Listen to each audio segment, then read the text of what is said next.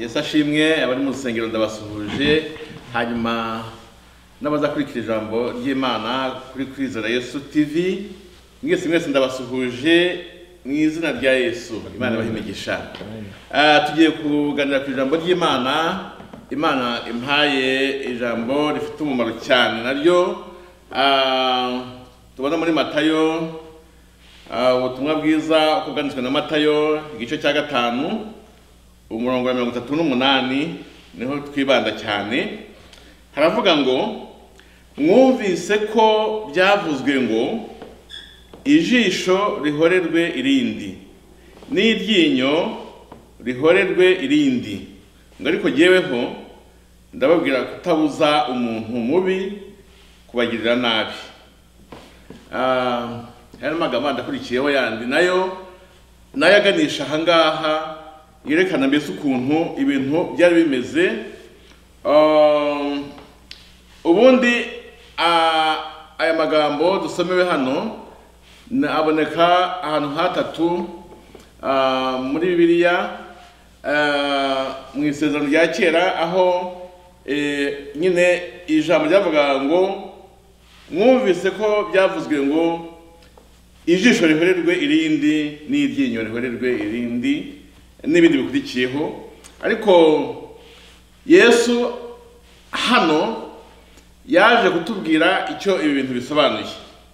Ah, ubundi tubaye nk'abasubira inyuma gatoya aya magambo yanditswe cyangwa se yabwiwe abisirayeli agamije kugira ngo abacamanza bajye babasha gufata ibyemezo bijyanye n'ubucamanza eh, kandi hakurikijwe ibyaha byakozwe. Noneho imana itegeka yuko eh, ijisho ryajya rihorerwa ijisho iryinyo rigahorerwa iryinyo Um, mbese icyo umuntu yakoze akaba ari cyo nawe ahabwa nk'igihano.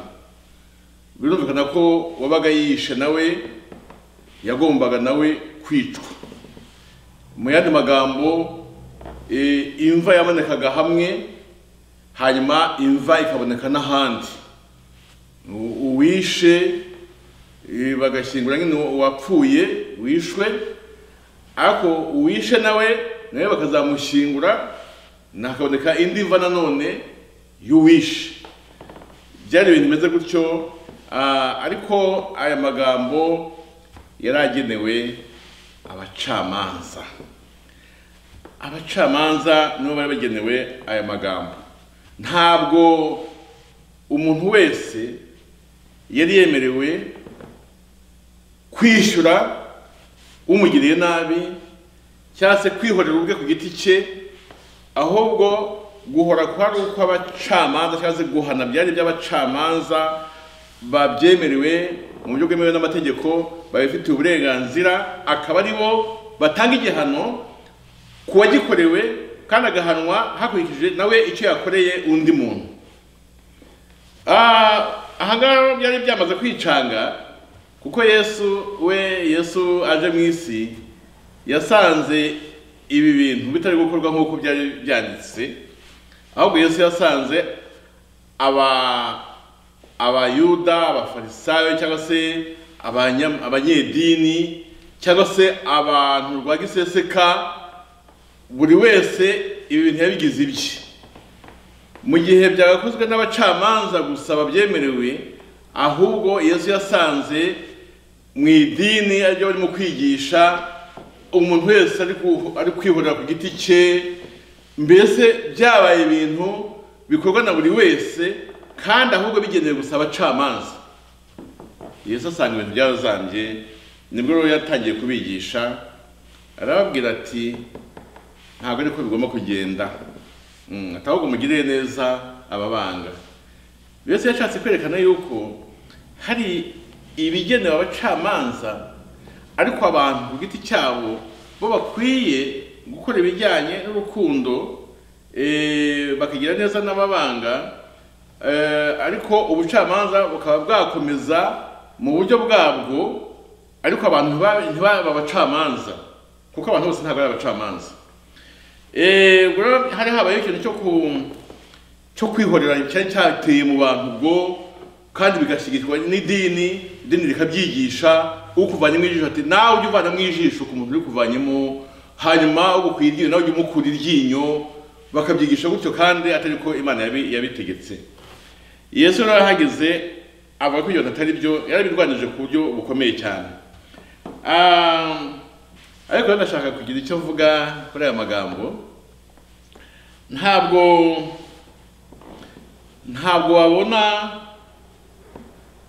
umuryango wawe umuntu ari kuwutsembatsemba ngo uhagarare mbese wipfumbate uri umuntu w'umugabo mu rugo ugomba ku ugomba kurwanya iki kintu kiri gukorwa ukarwanya umugizi wa nabi uri waje guhemukira umuryango wawe.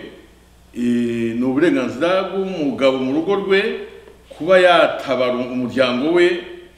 Ntatume umuntu umugizi wa nabi wa- wa- wabateye cyangwa se ibisambo cyangwa se abagizi ba nabi baza ngo bakore ibyo bishakiye mu, rugo rwawe. Uri umugabo ngo wigishijwe yuko utagomba kugira icyo ukora igihe habaye ikintu nk'icyo. Ntabwo icyo Yesu yashaka kuvuga. Yesu kandi yashaka kuvuga ko mu gihe ubuzima bw'umuntu mu by'ukuri eh, Yesu ntabwo yaje kwigisha asenya ibyari byanditswe ahubwo yarabisobanuye. Igihe ubuzima buri muri danje ntabwo wabura kugira icyo ukora kugira ngo utabare ubuzima bwawe cyangwa se utabare ubuzima bw'abantu muri kumwe eh, ku umuryango wawe cyangwa se abantu muri rusange. Ntabwo ubujijwe kuba watabara abantu bari muri danje bari mu kaga. Ntabwo ari cyo Yesu yashaka kuvuga yashaka kuvuga ko ibigenewe abacamanza bigomba gukorwa n'abacamanza ariko abantu ku giti cyabo ntibaba abacamanza. Ariko nanone Yesu ntabwo yaje avuga ko nanone umuntu akwiye kureka abantu bakicana uko babonye ugaceceka umuntu akaza akica abantu mu muryango wawe ukarebera gusa umuntu akaza aka- akica abaturanyi bawe ugaceceka ntabwo ari byo Yesu yashaka kuvuga. Eh, ntabwo rero Yesu yashaka kuvuga yuko uh, umugizi wa nabi aramutse aje mu muryango wawe yakora ibyo yishakiye cyangwa se mu, mu baturanyi bawe cyangwa se n'ahandi ngo uceceke gusa ubone ko ibyo bintu ari byo. Ntabwo icyo Yesu yashaka kuvuga. Eh, ijambo ry'Imana ritubwira yuko mu by'ukuri guhora ni ukuwiteka hari abantu ba hari abantu biha kugira nabi bagahemukira abandi.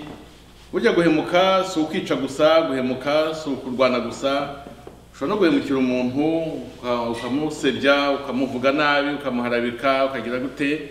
Ibyo byose ni ibintu na byo bibabaza umuntu. Ah, ariko ntabwo biba byakageze kuri eh, ntabwo biba byakageze ku- kuri danger de mort ntibiba byakageze aho umuntu mbese ya- yanapfa Mm? uretse ko hari amagambo hari amagambo ashobora kwica kwicisha umuntu ariko ndashaka kuvuga muri rusange uko abantu baduhemukira siko dukwiye natwe kubishyura. Ah, ntabwo dukwiye eh, gushaka guhora kwihorera twebwe ubwacu ah, ahubwo imana yacu ibivuga mu ijambo ryayo mu baroma ibice cumi na bibiri umurongo wa cumi n'icyenda uwiteka aravuga ngo guhora n'ukwanjye ni jye uzitura. Niko uwiteka avuga. Guhora n'ukwanjye guhora n'ukuwiteka uwiteka. Niwe uzitura abantu. Ntu- ntuzibwire ko uza- uzajya uvuga abantu harabika abantu harabika abakozi b'imana uri gusebya umuntu uri gushakisha uburyo wamugirira nabi wa- wamukwanduza izina rye wagira gute? Ngo wibwire ko bizarangira gutyo gusa. Nk'aho imana itari kubibona iyi mana iri kuvuga ngo guhora n'ukwanjye ni jye uzitura. Wowe uvugwa tuza rwose eh, ushyire mu bikorwa byose yavuze hariya ubihorere bavuge ubihorere bagusebye ubihorere bagire ibyo bashaka byose kuko uwiteka ntazareka guhora. Byanze bikunze abagizi ba nabi bose abantu bahemukira abandi abantu bagambanira abandi abantu bakora gahunda mbi zo guhemukira abantu cyane cyane abakozi b'imana abantu bafite imigambi mibi ku bantu kandi bakayishyira mu bikorwa. Ibyo bintu byose bikorwa. Byose uwiteka aba abibona uwiteka ati guhora n'ukwanjye nijye uzitura. Ni nko kuvuga ngo bareke. Bareke bakomeze bavuge. Bareke bakore amanama. Bareke ba- bareke biyegeranye ba- bagupangire ibintu. Bareke ba- ba- ba- bashakishe uburyo bagu- baguhemukira. Bareke Hmm? ndi kubabona ndi kubibona ibyo barimo. Ibyo bari gupanga ndi kubibona uwiteka kuvuga ngo guhora n'ukwanjye nijye uzitura. Mureke uwiteka aba ari uhora. Eh, ngenge ntekereza nkavuga nti hari igihe abantu dushyuhaguzwa umuntu agashaka kwishyura umuntu umuhemukiye ariko burya si ngombwa. Kuko eh, imana yihannye umuntu imana iyo iguhoreye imana iyo iguhoreye ntabwo ipfubya iguhorera ku buryo wa muntu waguhemukiye abyumva. Abyumva akumva ko imana ihoreye uwo muntu wahemukiwe. Uwiteka rero ari kuvuga ngo guhora n'ukwanjye have mwishyuhaguzwa have mwishaka kwishyura niba umuntu akuvuze wimusubirisha kumuvuga nawe. Yesu yagize ngo kuba abantu tutavuga ni twe twabuze ibyo tuvuga. Neza ni uko ni twabuze amagambo twasubiza abatuvuga. Ubuze nuko tudafite ibi- ibikomere biruta n'ibyo batuvuga natwe twavuga. Ariko uwiteka aravuga ngo guhora n'ukwanjye nijye uzitura. Bareke bavuge bazabyishyura bareke bavuge uwiteka ni we uzitura uwiteka yaguhoreye yabikora neza cyane kuruta uko we wabikora. Uwiteka yituye inabi umuntu yakugiriye. Yabikora neza kuruta uko we wabigerageza kubikora. Abahemukiwe abahemukiwe abavuzwe abagambaniwe abakorewe amanama abantu mubabaye mushengukira mu mitima yanyu guhora nuko uwiteka muceceke mwibishyuza mwibishyura mukoresha n'ama magambo. Yivuga nawe ngusubize yikoresha amanama nawe ngukoresha amanama. Yikorera gahunda mbi eh, ngo yegeranye abantu bashaka ukuntu bazagukorera ikintu ki- kikubabaza nawe ngo ushakishe abantu nawe ngo ukore nk'ibyo yakoze. Oya uwiteka ngo guhora n'ukwanjye nijye uzitura. Uwiteka rero ntabwo ajya apfubye nimushaka guhora nimushaka kwishyura abantu babavuga nawe ukavuga uti ubwo yavuze nanjye igiye kumuvuga. Uzabikora uzabikora ku buryo budafite imbaraga. Ariko nureka imana akaba ariyo yishyura umuntu wakuvuze nabi uko bikubabaza imana ibibona mu mutima wawe uko imana ibona ubabaye. Niguhorera bizababaza uwo muntu uri kubabaza ku buryo abyumva. Ariko we nushaka kumwishyura uzabikora mu buryo budafite imbaraga. Mureke babavuge mureke babasebye mureke babahemukire mureke babapangire mureke uwiteka ni we uzahora kuko iteka riri mu kuvuga ngo guhora n'ukwanjye nijye uzitura. Nese yesu avuga ngo nashaka gasome hano hakurikiyeho mwumve uko yesu yabivuze byose hano ni mirongo mikeya ngo mwumvise ko byavuzwe ngo ijisho rihorerwa irindi n'iryinyo rihorerwa irindi. Ngo ariko jyeweho ndababwira kutabuza umuntu mubi kubagirira nabi. Ugukubise urushyi mu musaya w'iburyo umuhindurire nu- n'uw'ibumoso. Umuntu nashaka kukuburanya ngo agutware ikanzu yawe umuhe n'umwitero. Ugutegetse kujyana nawe mu gikingi kimwe umujyane no mu cya kabiri. Ukwaka umuhe kandi ushaka kugu- kugutira ntumwerekeze umugongo. Bene data mureke dutsindishe kugira neza. Mureke dutsindishe kutishyura abatuhemukiye. Mureke dutsindishe kutababaza abatubabaza. Mureke dutsindishe ineza abatugirira nabi. Mureke dutsindishe guca bugufi ku bantu badutsikamiye mureke dutsindishe kwera imbuto z'urukundo kurusha abatwanga. Kuko burya umuntu ugusebya ntabwo aba agukunze. Umuntu ukuvuga nabi ntabwo aba agukunze aba akwifuriza ibibi. Hari n'ibyo abantu bavuga bikaba byakwirukanisha ku kazi hari ibyo abantu bavuga bikaba byagusenyera urugo hari ibyo abantu bavuga bikaba byatuma utsindwa mu ishuri hari ibyo abantu bavuga bikaba byatuma abantu bakwanga bakaguha akato hari ibyo abantu bavuga bikaba byakwica byakwangiza gahunda zawe z'ubuzima ibyo byose ni ibintu bibi. Wibisubirisha inabi ahubwo kora nk'uko yesu yigishije abanzi bawe ubakunde. Abakugirira nabi ubasabire imigisha. Kuko guhora ni ukw'imana. Humura ko utari kwihorera ku giti cyawe ntabwo uri umuswa ntabwo uri igicucu. Uwiteka azahora nta kintu gikorwa muri iyi si kibi imana idahana. Ijambo ribi wavuze umuntu.